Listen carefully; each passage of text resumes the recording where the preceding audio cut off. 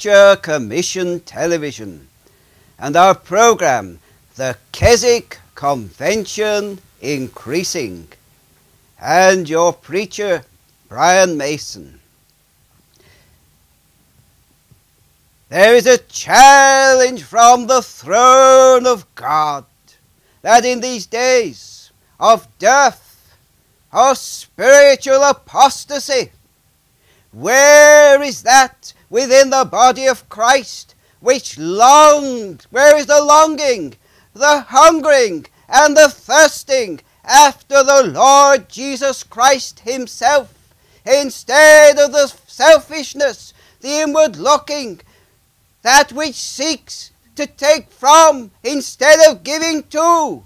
That should be the body of Christ which gives gives all out to Christ that Christ Himself can work through His body to the glory of God the Father. Let us start our meeting with a reading of Psalm 85. Lord, Thou hast been favorable unto Thy land Thou hast brought back the captivity of Jacob. Thou hast forgiven the iniquity of thy people. Thou hast covered all their sin. Selah. Thou hast taken away all thy wrath. Thou hast turned thyself from the fierceness of thine anger.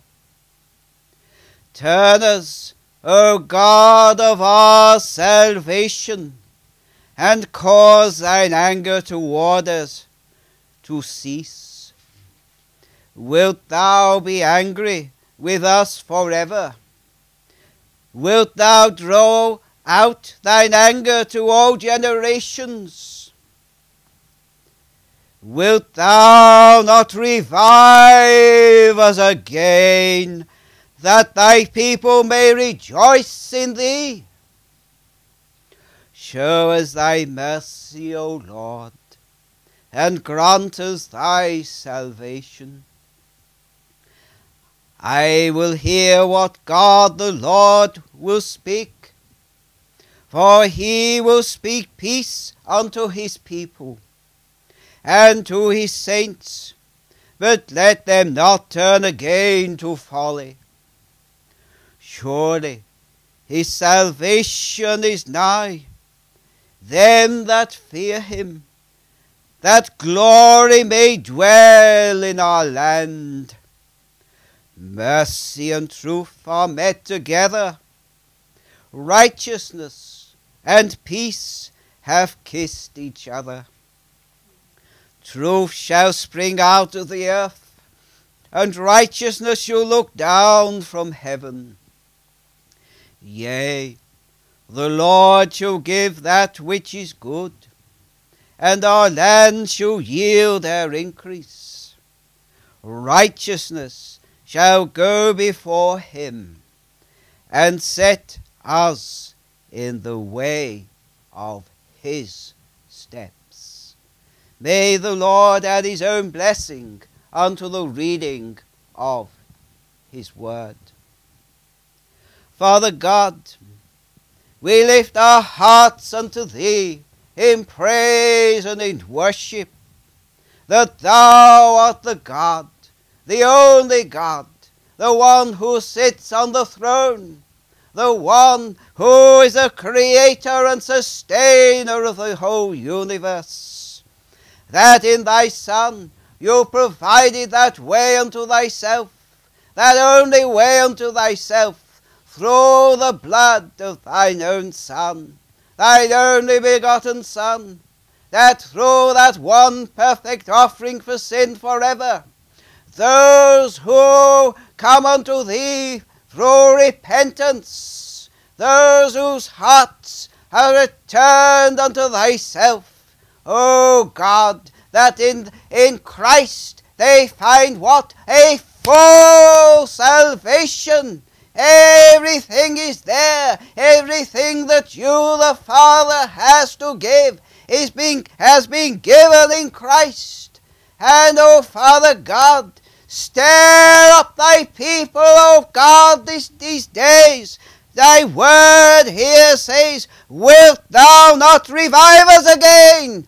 Those are your words, the Almighty God's words speaking through the psalmist, inspired words of God.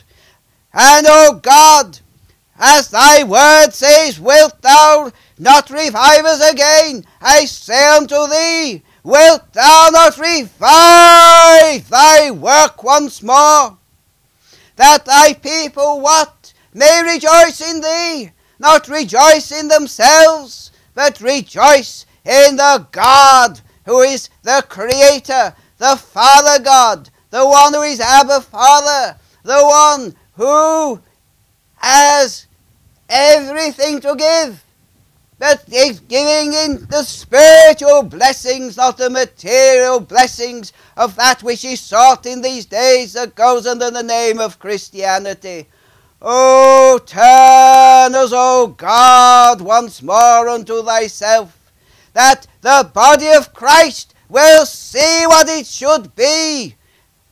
Surrendered entirely, surrendered to Christ, absolutely dependent upon thee, O God, and resting in thee, not coming up with the ideas of themselves, but taking hold of thee and hearing from thee, and resting in thee, to see thee work in supernatural power once more, O God. And I challenge thee, O God, that thou wilt once more open the windows of heaven and pour out such a blessing that cannot be contained.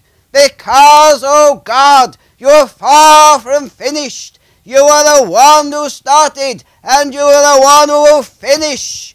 And I command thee, O God, to move once more and sweep aside all that stands in the way, that you and you alone will be the one who is at work, and that thy people will give themselves to be vessels vessels in the hands of the Holy Spirit to work through them, to work through them to reveal Christ in all his loveliness and all his splendor and all his glory, that sinners will turn from their sin once more, being convicted by the Holy Spirit.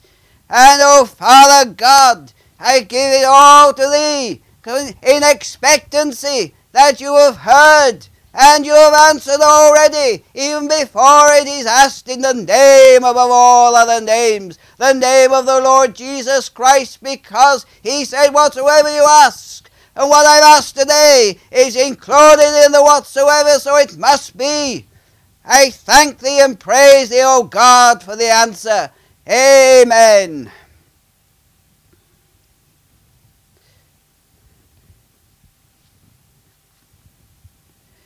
Our hymn today is very much in line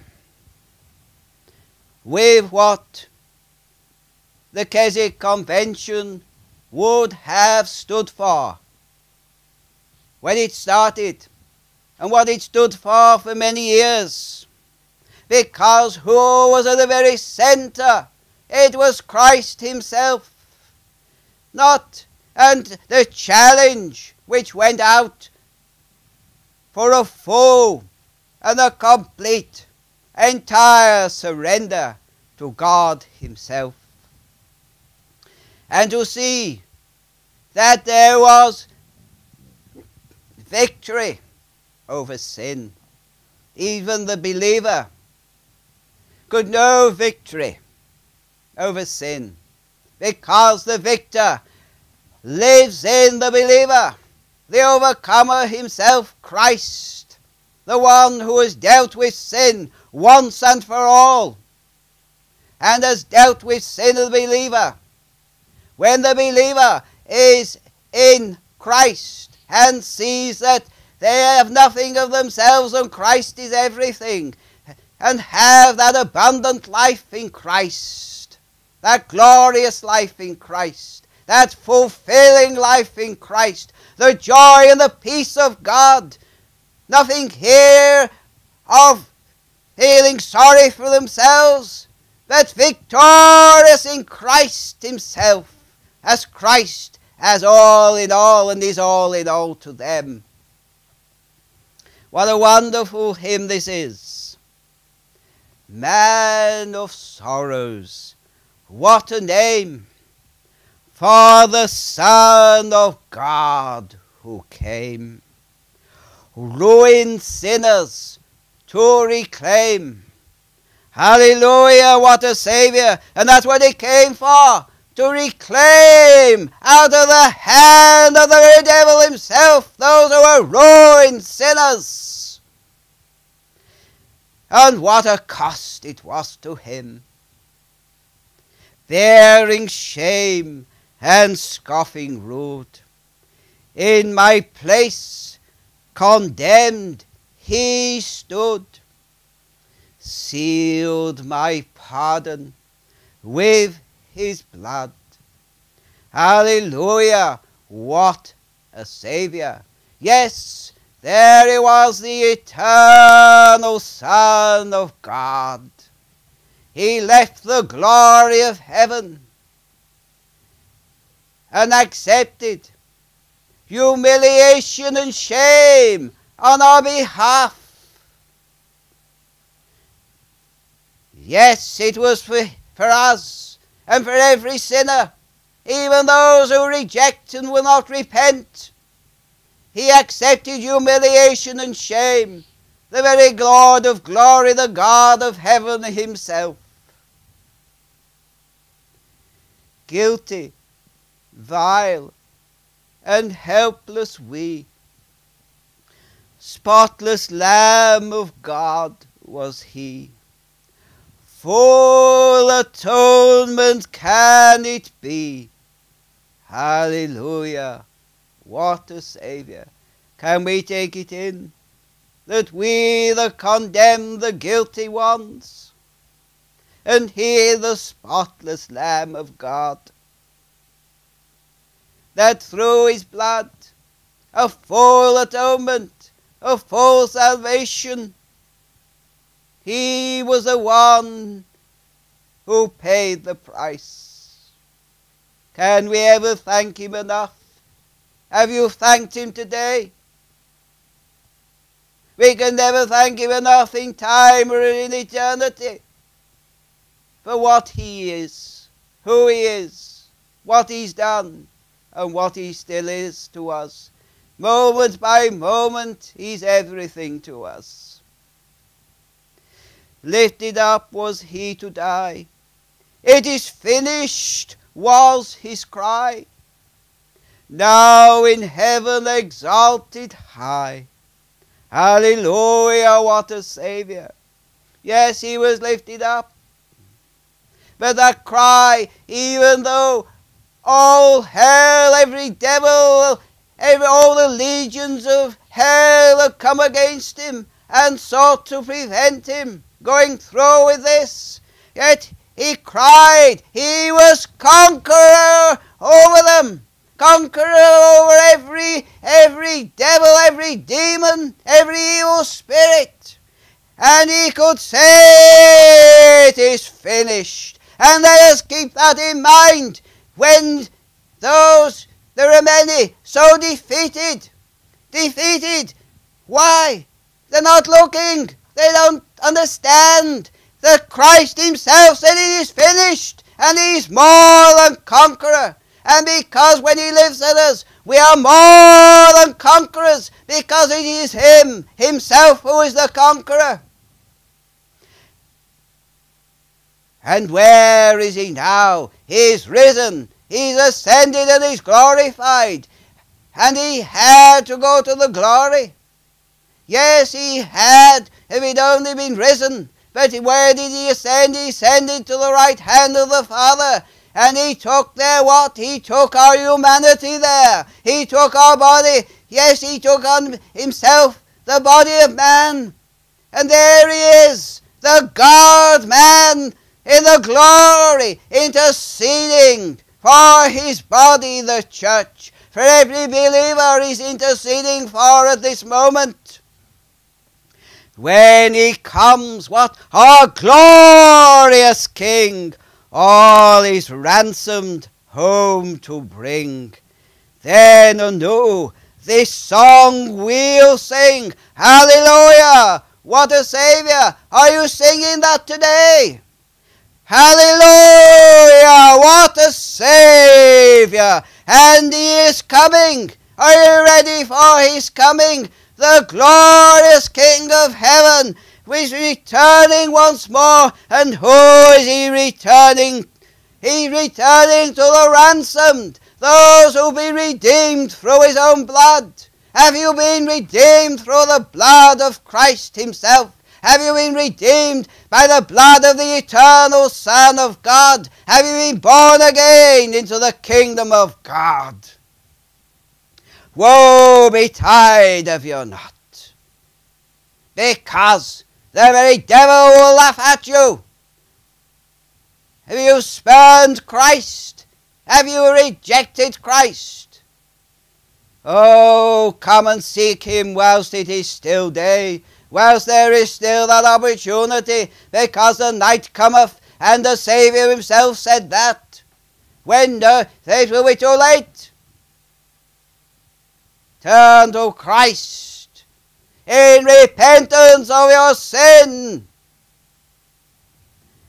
and receive a pardon from the only one who can bring you that pardon through the cleansing of his own blood, the blood of God himself.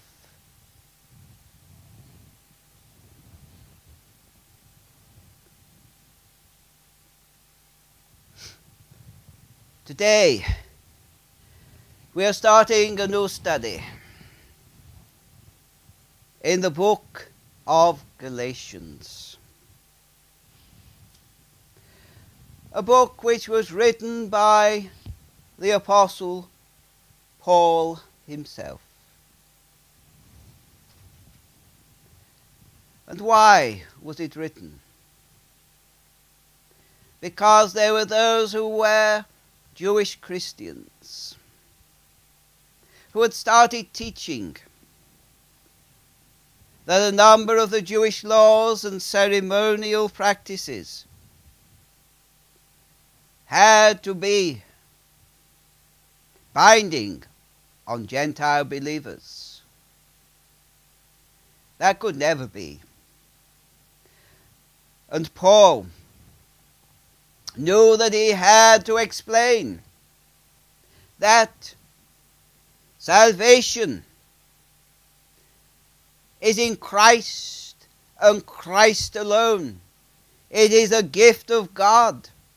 It is not something that is earned for human flesh. In ourselves we can't earn salvation. That may be the teaching of much of Christianity today, but it's certainly not in line with the Word of God. It's certainly not in line with the inerrant Word of God. It's not in line with the inspired Word of God.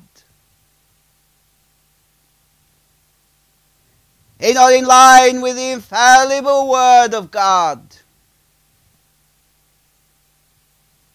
Let us be so aware that in these days there is that need, as in the days of the Keswick Convention all those years ago when it was founded, to keep to what? The unchanging Word of God justification by faith, not by works. Now, keeping that in mind, let us start our study. Paul, an apostle. Paul didn't have to go around advertising himself as an apostle. all that Paul was doing. It was Christ in him and Christ through him. He didn't have to go like in these days wearing a badge saying Apostle X, Y, or Z. He didn't have to claim to be an apostle. He was known to be one. And that should be the same today. You don't, don't have to pay money to become an apostle. That is what? If you pay money to be an apostle, where does that come from? It's come from the pit of hell itself. And has nothing to do with the God of heaven. When someone is an apostle, a prophet, an evangelist, a pastor, a teacher, they don't have to go around saying, I'm this, that, or the other. It's the Holy Spirit working in and through that person. That person who is in full sur- entire surrender, absolutely dependent upon God and is resting in God for God to do His own work through them, then it stands out. Because what? They're filled with the Spirit of God, not with the human thinking. It's from the heart and not from the head. That which goes around advertising, I'm this, that, and the other, is from the human head. Yes, not of men, neither by man, but by Jesus Christ and God the Father, who raised him from the dead. Yes, he knew where he stood, did Paul because he was called. Called by whom? The one who had given his very life for him. He did his utmost against the Lord Jesus and those who followed the Lord Jesus. But the day came when he was on that road to Damascus. And what happened? There was a light from the very glory of heaven itself and the one who sits at the right hand of the majesty upon high. He was that glory, he was that light. And not only did he see that light, the glory and the splendor of our Lord Jesus Christ, he heard the voice from the glory too, had said about him kicking against the pricks Let us be careful in these days because there are so many who go under the name of Christianity, under the name of church, and what they're doing, they're doing what Paul did. They're kicking against the pricks. But Christ himself brought what? He brought Saul right down to see that there was a God in heaven, in, the, in Jesus Christ, the one who had ascended to the glory, the one who spoke to him. And he knew then that all that he'd been doing was as nothing. And from that moment he started to learn that he would become one who said, For me to live is Christ and to die is gain, rather than go around seeking to destroy those who belong to Christ. He was now one who belonged to Christ, not just believed in Him, but belonged to Christ. Do you belong to Christ? Anyone can believe in Christ, the very devil, the, every spirit out of hell can we believe in Jesus Christ, but unless you belong to Him, you're going to join those who are in the pit of hell itself, cut off from God forever. So he wrote, yes, he was Paul, writing to these churches in Galatia. And writing to whom? Writing to believers. This was a message which was going to the saved. a message of grace and peace from God the Father and from the Lord Jesus Christ. Oh, yes, grace. Nothing to do with what? The greasy grace of the charismatic movement. No, this was grace from the very heart of God. The grace of God which spared not his Son, and gave everything that there was to be received, every spiritual blessing that there is to be received is in Christ.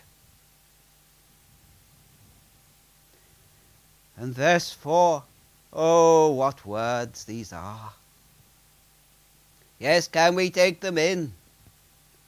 Who gave himself for our sins. Christ himself the co equal, co-existent one with the Father, as equal with God and co-existent with God the Father. No distinction there. Both God, along with the Holy Spirit, the Spirit which comes from the Father. That Spirit, the Spirit that was in Christ, and the Spirit that comes to indwell those who are Christ's. Yes, we were without hope. The first Adam, his wife, yes, Eve had been deceived. And because of that deception, man had gone away. He'd been cut off from a holy God. But yet Christ, here he is, God Himself coming, the only begotten Son of the Father. And take note of that, because there are those Bible versions which will take away the word begotten. But He's the only begotten Son of God. Every bit God. You take, start taking words away like begotten, and an equal, a co-equal with God. What have you got? You just got a man. No divinity. You have to have the God man in Christ in order to redeem lost and guilty and already condemned sinners. And unless you have that, how then could he give himself for our sins if he was not God? Let us beware there are so many deceivers around in these days, so many antichrists around in these days. Check your Bibles. Because you may be in the possession of an antichrist Bible. I know they preach from the King James Authorized Version because this is as near as you can get to the truth. Because it still stands. That Christ is co equal and co-existent, that there is still emphasis on the blood of Christ to cleanse sinners from sin. And there is still that warning that sinners, lost sinners, go to hell and that the devil is the deceiver, the God of this world. And why did he come from the glory? Why did the eternal Son of God come from the glory? That he might deliver us from this present evil world. Yes, why is it this present evil world? Because it's what? It has a God of this world, the very devil himself, the deceiver, the archenemy of God. But yet there are so many who really are worshipping him. Yes, in days gone by, it would have been said, oh, there's nothing wrong in going to the dance. Nothing wrong in going to the public house. Nothing wrong in going to the picture palace. But there are those equivalents of today. In many ways, even worse than in the days of the 1950s or earlier. That there are two voices you will hear in life the voice of the Holy Spirit seeking to draw you to Christ, and the voice of the very devil himself saying, Oh, there's nothing in that. Go ahead and do it. Have a good time in life. Enjoy yourself. But the time will come when the very devil will say, There's no more chance. Because, why? Because you sealed your own, your own self. You sealed, you've cut off Christ. Because the Holy Spirit, yes, will seek to draw you to Christ, will seek to convict of sin, righteousness, and judgment. But the day will come when that is no more, because you, you've grieved the Holy Spirit, you've driven him away. Yes, I was hearing of a preacher no longer with us, and so remarkable. He was speaking so deeply about someone who, what a lady had said. This man said, oh, he, he couldn't come to Christ because he had sold himself to the devil 26 years earlier. And the devil himself had said to this man, in 26 years you will come to, you will go to hell, you'll come here with me. And what happened? 26 years afterwards, although this lady had tried to pray with him, tried to lead him to the Lord, he was cut off from the Lord. He couldn't repent. And he dropped dead 26 years later. It was fulfilled. Don't play around with the Holy Spirit. Don't play around with God. Because you can cut yourself off from God forever. Yes, He's a merciful God. He wouldn't be merciful if He hadn't uh, provided His own Son to take the wrath of sin upon Him and deal with sin. But He comes, the Holy Spirit comes to draw and to show. But when you grieve the Holy Spirit, you drive him away, and he may never come again. Take your chance while you still have the chance to repent of your sin and take the Lord Jesus Christ as your Saviour. Take the cleansing of His blood. Nothing of, oh, I'm just sorry. Yes, I saw that the other day. Someone, yes, leading somebody putting words into somebody's mouth. But there was no depth of there. There was no re- depth of repentance there. There was no conviction of sin there. That's what's needed these days.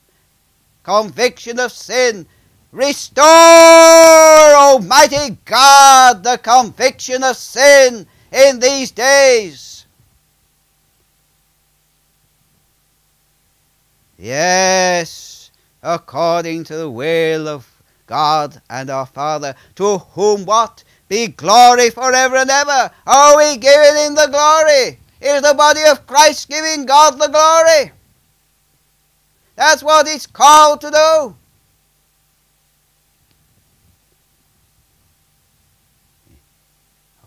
In verse 6, I marvel that ye are so soon removed from him that called you into the grace of Christ, unto another gospel. Yes, Paul had laid the foundations down. He'd showed them clearly that they're saved by what? Faith, not by works. Even Abraham, it was faith with Abraham and Abraham was long before the law. But yet here were those who were wanting to impose the law, to fulfill the law upon Gentiles. when the Jews themselves couldn't come, fulfill the law. There was only one who could fulfill the law, and that's the eternal Son of God, the Lord Jesus Christ.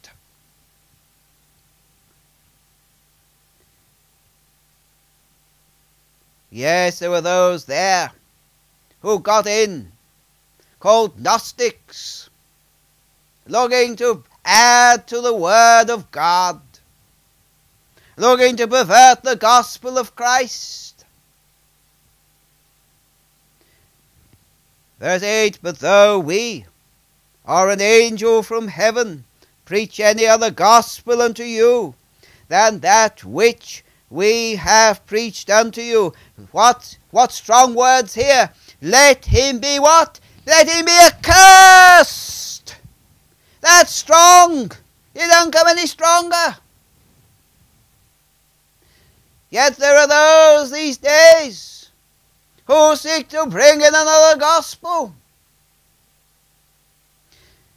There are cults, and the Mormons are a prime example adding to looking to add to scripture that which has been given by angels. It has never been given by angels because the canon of god the the word of god enclosed in the bible is inspired the word of god. That which is said to come and be added to it is what? It is not inspired because it has not come through the holy spirit and those who have been what? Deceived. And much of Christianity is under that which is a deception. The deception, what of the Church of Rome with its works, with its emphasis on Mary and the saints. The deception of the Jesuits the, je- the deception of the emerging church and the mega churches, seeking that which is of the self, and not from the, from the throne of God, not through the Son. What does the Word of God say? When they're adding, they're seeking to bring in the ideas of men and have brought in the ideas of men. It's every bit the same as Paul was seeking to say to the Galatians all those years ago. Yes, it may not be revelation, uh, as it were, it's been said to be brought from an angel. It can't be revelation because the angel's not bringing the revelation. The Holy Spirit had already brought the revelation in the Word of God. And those who seek to bring in their own ideas, bring in the ideas of philosophy, they're equally the same as Mormons, equally the same as Gnostics. They are accursed by God Himself because the Word of God says so, and the Word of God is there to be believed and acted upon. So those who are accursed, let them repent of their sin before it is too late. Otherwise they will see they will be in hell cut off from God forever. Yes, there we are. For do I now persuade men or God? Or do I seek to please men? Much of Christianity is there as a show to, to please others. Those, yes, on on platforms there in the mega churches or wherever they be, but it's all to the self life. It's not to the glory of God. Because why? Christ is the example. Christ, the servant of God, having the heart, the servant heart of God within him. And what? Because Christ has the servant heart, then those who belong to Christ must have the servant heart. And Paul showed that he had the servant heart. And the servant heart doesn't seek to, to bring attention to themselves. It seeks to what? Bring attention to God in Christ.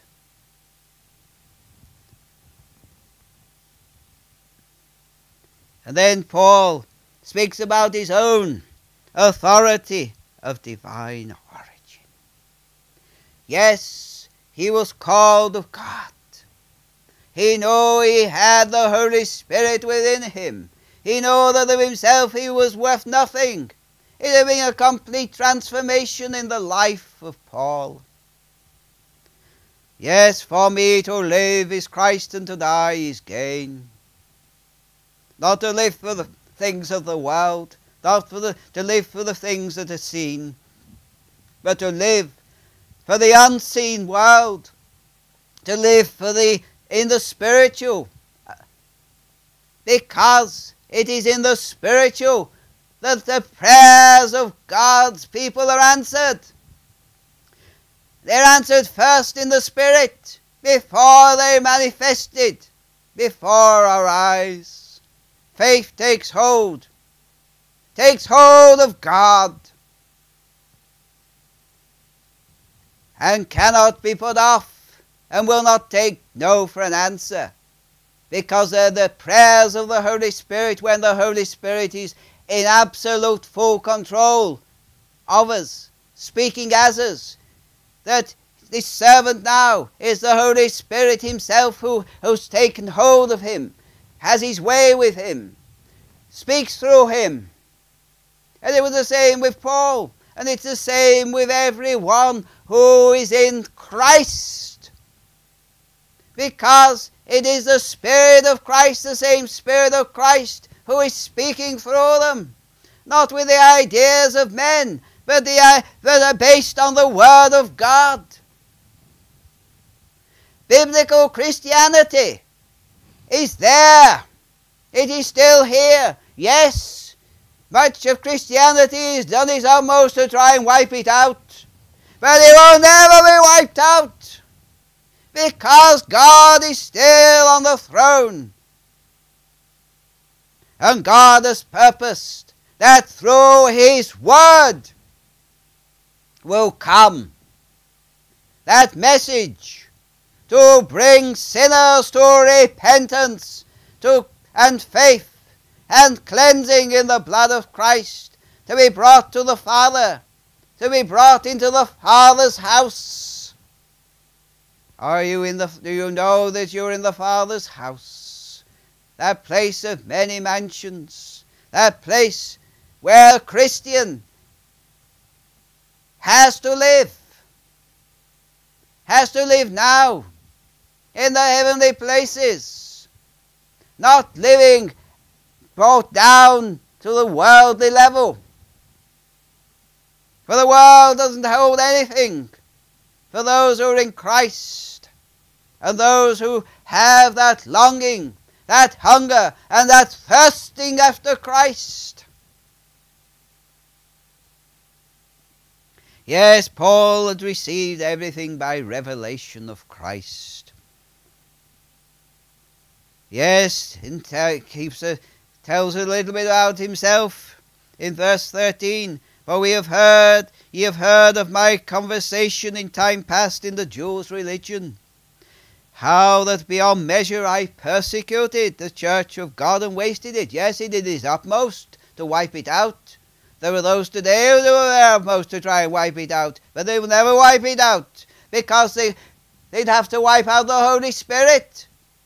And they, the Holy Spirit is God. The Holy Spirit is the first per, third person of God. He can't be wiped out. And as He dwells within those who are, belong to Him, then He's not going to be wiped out. Furthermore, the church is persecuted, the more it will grow and the lesson has not been learnt. There are still those who are seeking to wipe out Christians in different parts of the world, but they will never succeed because the, the more they the more they try and do it, the more the Church of Christ will grow, the more there will, there will be more and more believers, because Christ's blood was not shed in vain. It was shed so that sinners can have their sins forgiven. Oh, yes, there were no equals to Paul in his own religion. He was zealous of the traditions of the fathers. He was concerned with traditions. we in Christ are concerned or should be concerned with what? Christ Himself. Exceedingly zealous. Have you got that zealousness within you? There are those fanatics of other religions have zealousness, but they've no message, they've no life, they've only death within them. It's Christ Himself, His life within the, the Christian, because Christ is life. Other religions are death. Yes, all of the body of Christ will see. Yes, the privileges it has. Oh, Father God, make the body of Christ zealous, as zealous as Paul was in his day. That those outside of Christ will see that those in Christ have something which is so different, something which is life and health and peace and joy. Oh, he was separated, yes. He was called by the grace of God. What to reveal his Son in me, and that is it. To reveal the Son of God through us, in us and through us. Not to betray ourselves, but to betray what? The life of God Himself in Christ flowing out through us manifesting to a lost world, to a lost mankind, that there is a God who loves and cares and has given His Son and has transformed those who accepted His Son as their life, those who accepted His Son as their Saviour, as their Lord, who've been cleansed by the cleansing power of the blood of the Son of God. Yes, Paul went off. He didn't confer with flesh or blood. He didn't go up to Jerusalem to the apostles. He went to Arabia and returned again unto Damascus. And this shows us how important it is that day by day, no matter how busy we may, may be, even those God knows about having to go out to work for so many hours a day, But what it is to be in Christ, to abide in Christ. And there are times when uh, to come aside, being refreshed, refreshed, because I know it's taking in, we, we can't give out. The Holy Spirit can't give out. We're, we're constantly having to take in to give out. But we're not taking in to give out to ourselves. We're taking in to give out so the fruit might be for the, for the glory of God for the reaching of the body of Christ, for the reaching of the unbelievers. And it was after three years that Paul went up to Jerusalem to see Peter, and he only stopped there 15 days. And he saw none of the other apostles, apart from James, the Lord's brother. Paul knew his calling was to the, to the then known world. And our calling in Christ is for those who as yet, no matter where they are in the world, have to be reached with the gospel. Not a message of death, not a religion of death, but a, a message of life. A life transforming life, because the Creator, the one who is life, is the one who is offering life. No other religion can offer life. Atheism can't offer you life. Secular humanism can't offer you life. Governments, political governments can't offer you life. Because what is in, in the natural is in the human. This is in the spiritual. It's in the supernatural. Because it's of God. It's from another world.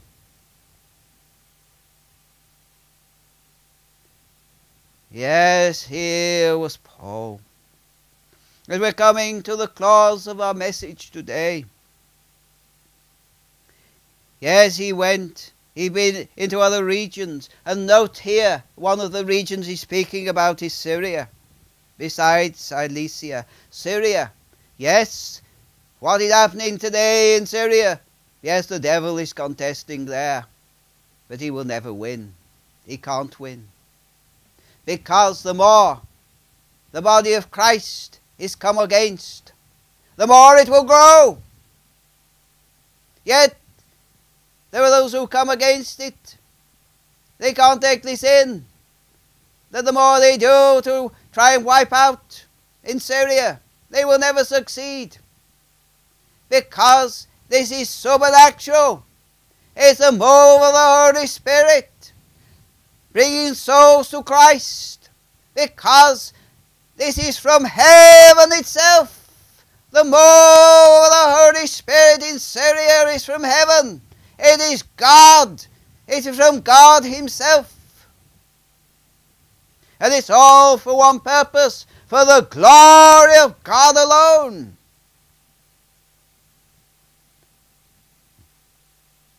Yes, and was unknown by face unto the churches of Judea which were in Christ. But they had heard only that he which persecuted us in times past now preaches the faith which once he destroyed. Yes, look at the similarities here. Paul the persecutor. Yet he became what? The greatest man in the early church. And the parallel here is those who were out to destroy the church of God Oh God Almighty, Father God, may the Holy Spirit take hold of these persecutors against the Church of Christ and do the same to them, which Christ Himself, who spoke from the glory to Paul, that they who are the perpetrators of death today will become the ones who will be so transformed that they will have the life of Christ within them. They will have the message of life to a dying world. Oh God, nothing is too hard for you, nothing is beyond you. You are the Almighty God, you are the sovereign God, and all these things are small to thee. Show thyself, O God, I challenge ye to take hold of these perse- take hold of persecutors and transform them by the blood of Christ. Bring them to repentance, convict them of sin. That Lord, the most evil in the world today is not beyond thyself, because Christ died for the most evil in this world. Reach out to them in thy mercy, in thy love, and show them that there is a God who loves them, who cares for them, and wants to be their Father. And because of what Paul was doing here, this last verse, and they glorify God in me. Is that your prayer? That God will be glorified in you. And not just some of the time, but all the time, every day, every moment, that your life will be what a sweet smelling Saviour because it's the life of Christ manifesting out to a lost world, manifesting out in the body of Christ. And then the body of Christ is in the position to hear from the head hear from Christ Himself by the Holy Spirit, and the life of the body, the life of Christ through the Holy Spirit, is going out through the whole body of Christ to the glory of God, to the saving of souls, to the preparing of the body of Christ, the bride of Christ, to be presented unto the Father without spot or without blemish to the glory of God the Father.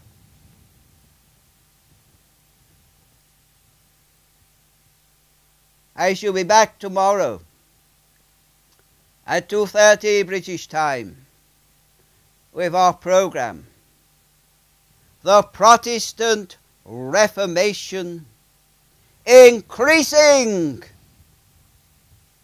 Good afternoon.